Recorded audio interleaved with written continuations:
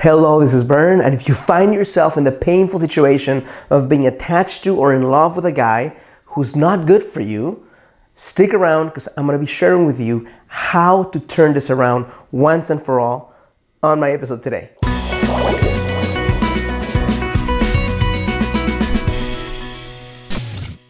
Hello, this is Bern. Welcome to your greatlifetv.com. Today's another edition of Get the Love You Crave and I'm excited to be sharing with you how to stop feeling in love, how to stop feeling attached to a guy who's bad for you, who's not good for you. I connect with so many women who are intelligent, beautiful, gorgeous, spiritually connected, and despite all their awesomeness, they are still attached to guys who are absolutely horrific for them, for their self esteem, and for their future. And because it's not just a guy who's coming up and saying, I'm gonna beat you up right now all the time. They have the polar opposite of the guy being really kind and loving and kissing their feet, but the minute they turn around, stabbing them in the back in some way, the, the hoping that it's gonna get as good as when it is good makes them stay in a shitty, shitty, painful situation. So if you find yourself in this situation, if you have a friend who does, send them this video, please. Number one step to break free from this insanity is step outside of your fucking story for a second and witness it as if you were your best friend.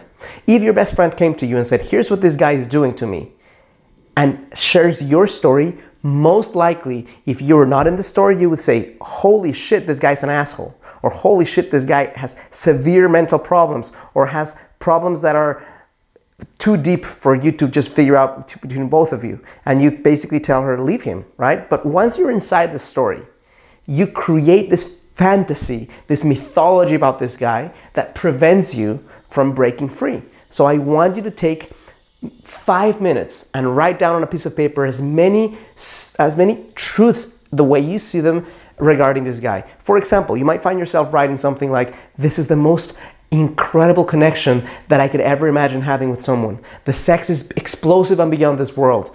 The, the, our souls, he is my soulmate, or worse, he is my twin flame. Therefore, we have to figure the shit out because if I don't, then I'll never find someone who loves me as much.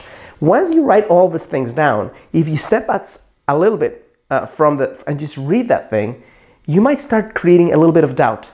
Because if you if all those things are true, then it wouldn't be so painful right? So if you start bursting a little bit, that bubble you've created, the fucking unicorn and rainbow um, concept that you have about this guy, and start saying, well, this doesn't really make sense, or this one, ah, maybe it's not so true, you'll start at least the, the legs of that table of certainty about the amazingness of this guy are going to start wobbling, and that's good for you.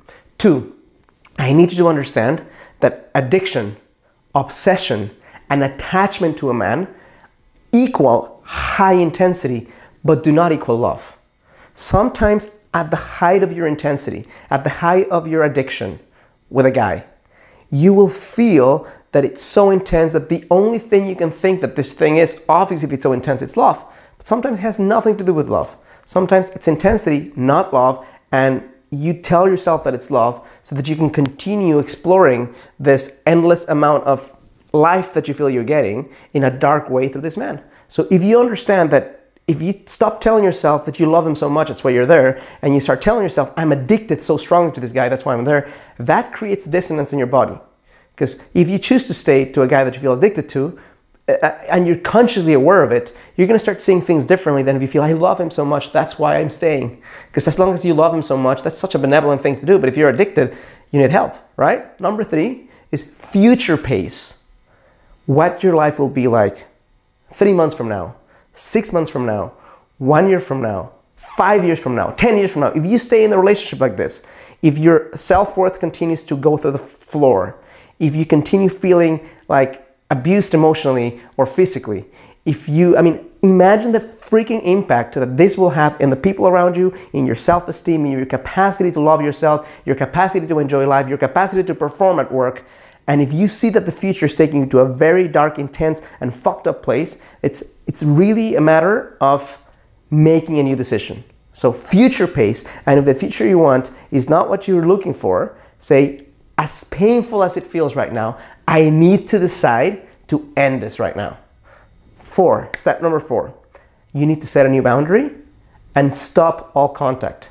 If you set a new boundary, which is like, don't contact me, don't connect with me, thank you for being in my life, but I'm out, and you really enforce it, at the beginning, you feel like a heroin addict feels when they're no longer able to go and inject themselves with heroin. You're gonna feel withdrawals. You're gonna feel like the world is ending. You're gonna feel like, oh my God, what have I done? The worst is for my life.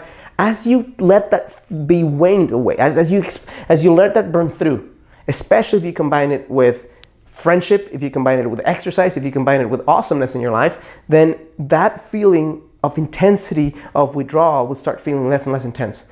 It has to come you have to experience it. There's no fucking around it, going around it, but you can have it now or you can have it 10 years from now after you've wasted the best years of your life. Okay, number five is feel the void with light. This guy used to create a lot of intensity in you.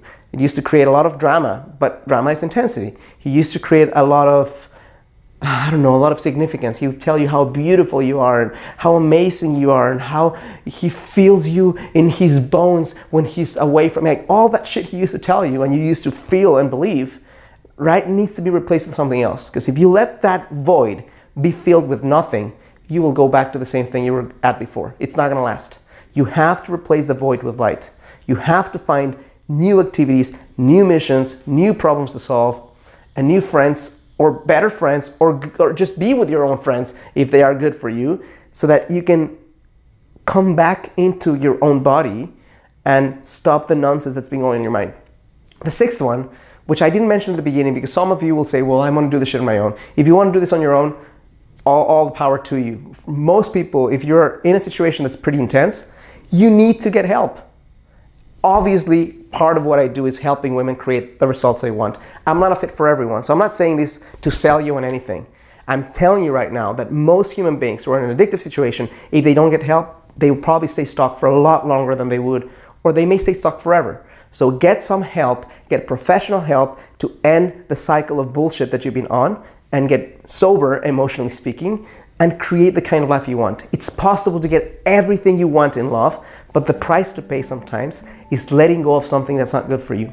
Rumi said it best when he said, 1,000 half loves must be forsaken to take one whole heart home.